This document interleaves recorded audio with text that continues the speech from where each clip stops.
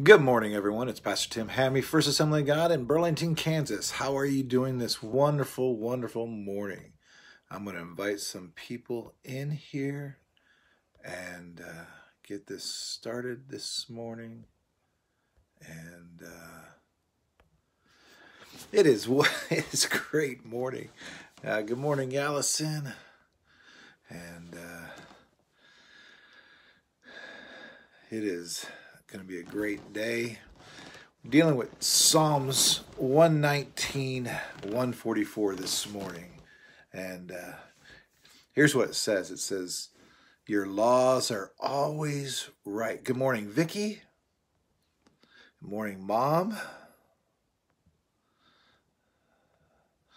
Um, your laws are always right. Good morning, Dora. Just gonna slow down and well interesting. I was talking to abs last night and she had a great day.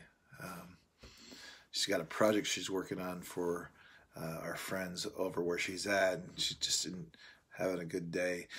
It is actually the end of wednesday over there right now.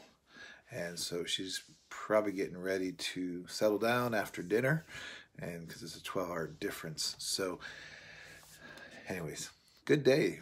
Just enjoying what she's doing over there right now. So um, exciting. So Psalms 119, uh, 144 is the verse. Check this verse out. Your laws are always right. Help me to understand them so I may live. I was thinking about this when I was reading this verse this morning. Is my parents always says, "I brought you in this world I can take you out.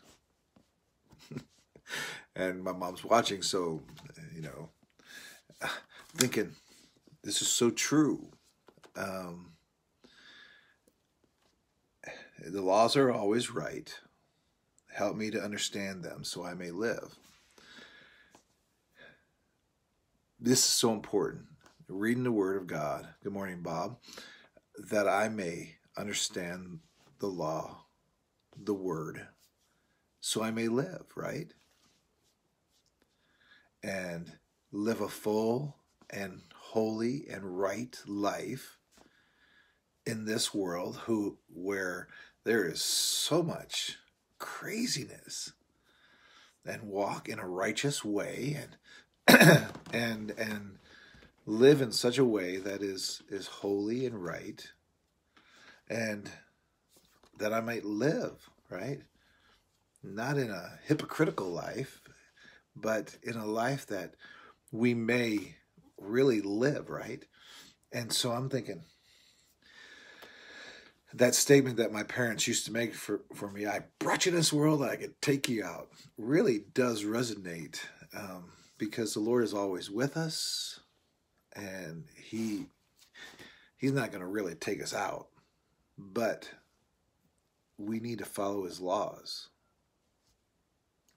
Need to follow what he's commanded us and take, you know, Ten Commandments. Um, old old joke is that Moses went up to uh, up to the up to meet God, and he came down the first time, seeing what was going down with the people. Uh, Israelites dropped all the Ten Commandments, broke them. He's the only one that broke all Ten Commandments at one time. And so he wrote back up and God gave him another set. So, old joke. Anyways, to know and, and throughout the word, there is just, you know, things that we need to follow. And uh, we need to pursue that. We need to pursue living a righteous and holy life. And and that we may live, we may live a holy and righteous life.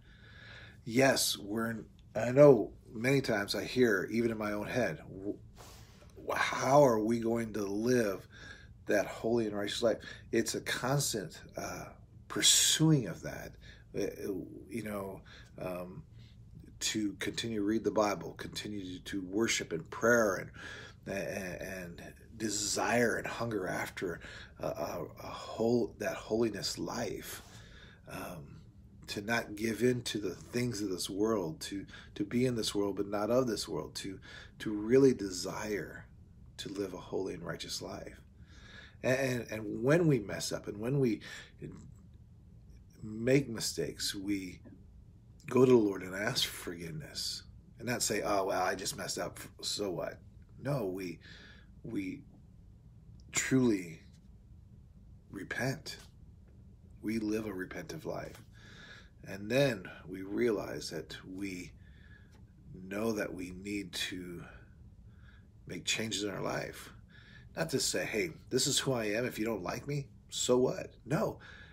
If we're Christians, which, you know, we accepted the Lord, we should live as that. We should live according to the Word of God, not not according to the wor- world. Yes, the world has what they say so much to offer.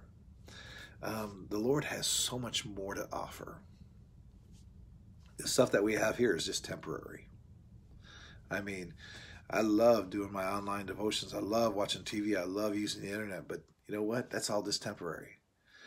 Heaven and my eternal life is eternal.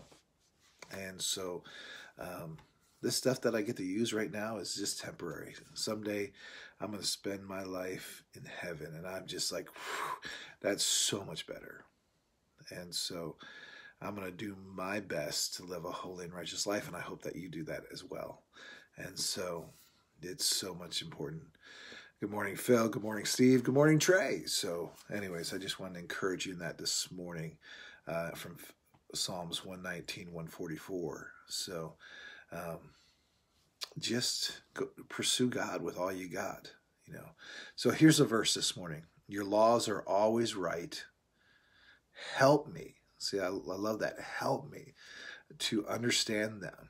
Um, study, so study His Word, so I may live. Write that verse out. So get out your notebook, write this verse out. Put an O, observe it. A, apply it to your life. P, pray. And then, uh, so um, just gonna pray for the all the prayer requests. There's so many of them uh, that I can think of. Um, of course, praying for Abby.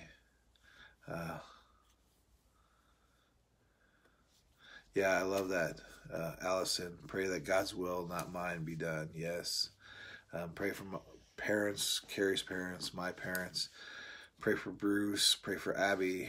Um, Doug Hollis.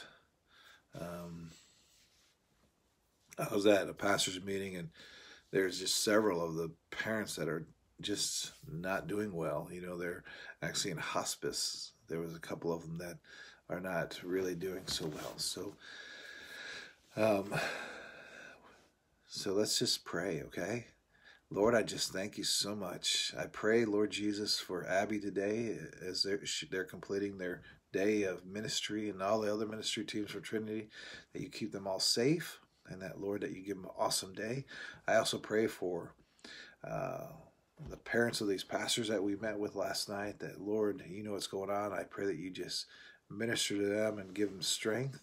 I also pray, Lord Jesus, from uh, Carrie's parents and my parents, Lord God, our fathers, Lord God, that you heal their bodies and give give our moms strength. I pray for Bruce today that you heal him and uh, give Wanda strength. I pray for Doug Hollis that, Lord God, that you just uh, uh, touch him, uh, uh, touch um, him or her. I can't remember where I was at. I pray for uh, Trey's grandpa. Um, that you just be with him in his surgery today. And I pray for uh, direction and wills, your will uh, uh, for each one of us. And I pray for the unspoken, Lord God, that you just uh, work all things out, Lord God. I, I pray for the unspoken, whether it's healing or finances, Lord God, that you just work in those, Lord God. And the other unspoken that we may have, Lord God, that you just uh, work in those. And Lord, I thank you so much, Lord God, that you are in control of all things. And Lord, we just praise you. And I pray that, Lord God, that you give us the opportunity to be a blessing to those that we come in contact with. And I pray, Lord God, that you give us the opportunity to share the gospel with somebody today, Lord. In your name, amen. Have an awesome, awesome day. Love you guys. We'll see you tomorrow. Have a blessed day.